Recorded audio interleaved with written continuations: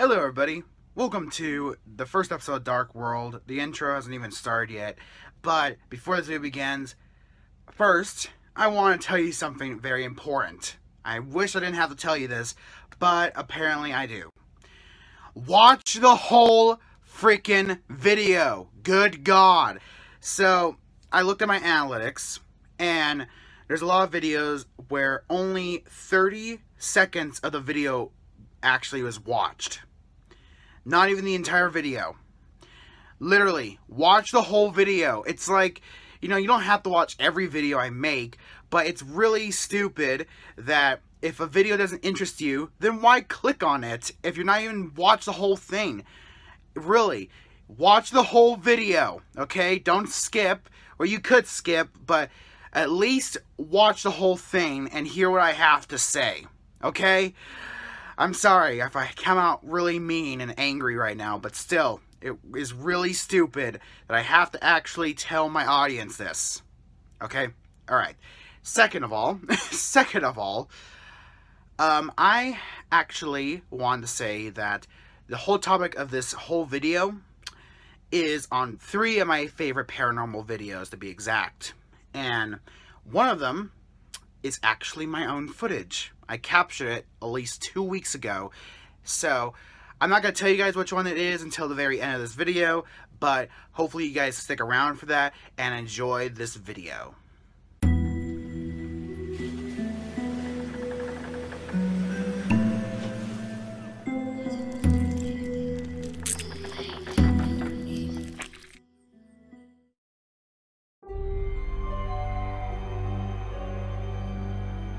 Lisa Lamb was a foreign exchange student. She was visiting the U.S. and staying at the Cecil Hotel in Los Angeles, California. Her roommate said that she would exhibit very strange behavior, but one day she was found dead in one of the Cecil Hotel's water tanks on the roof. Because of this, occupants of the hotel would complain about the water smelling and tasting foul.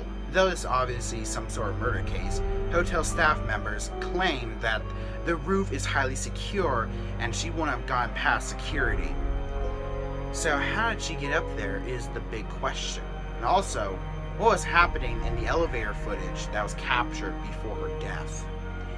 In the footage, Elisa Lamb entered an elevator in the Cecil Hotel where she started exhibiting strange behavior, making weird hand gestures, and looking outside the door as if she was waiting for somebody. She kept pressing all the buttons on the elevator, yet the elevator wouldn't move, not even once. Then Elisa Lamb finally left the elevator and ran the opposite direction. Who knows what this case really is, and it's still a mystery to this day. There's a field of science called cryptozoology which explores unexplainable creature phenomenon from Bigfoot, Loch Ness Monster, aliens, Jer the Jersey Devil, Mothman, you name it, it's probably a cryptid. Though there is one very odd cryptid. Nightcrawlers are Native American spirits that reside within the Wyoming area. There are two alleged videos capturing the Nightcrawlers as they walk down the roads. Though the first video is very blurry, the one I'm going to show you, I think, is the most compelling. This one obviously shows what appears to be, well, what just looks like a pair of legs just walking on the road. There's one very large one and one very small version of that large one. Both walk slowly along the road and then suddenly vanish. And that's where the video ends. No one can really say if these things exist or not, but the video is very mysterious and compelling.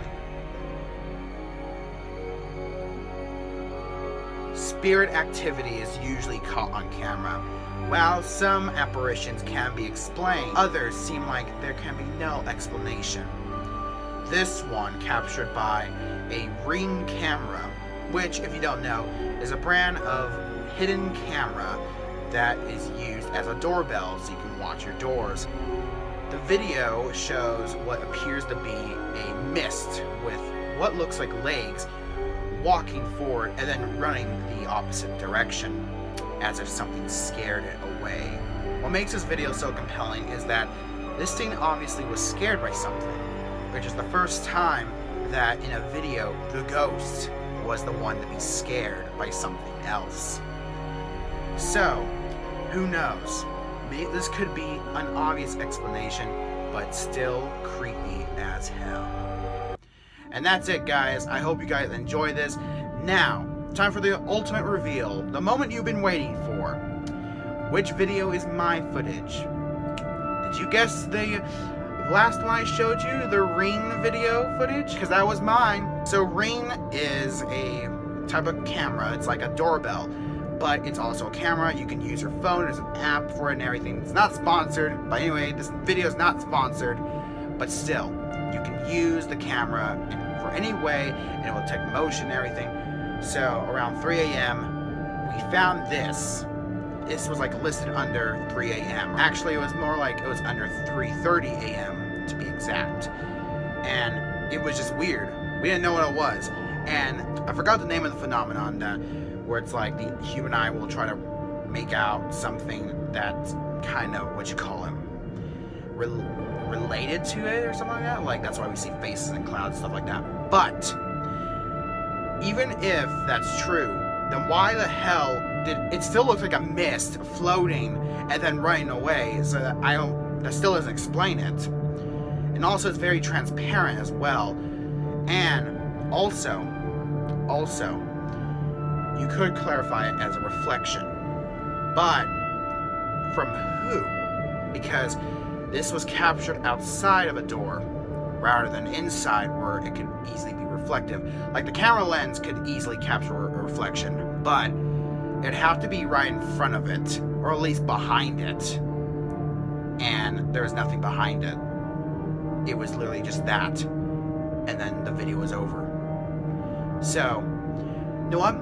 And you guys might still not believe me. So let me go show you what this camera looks like. So this is the camera. It, it could be reflective, but yeah, the camera doesn't look like that. So yeah, and the door's like right here.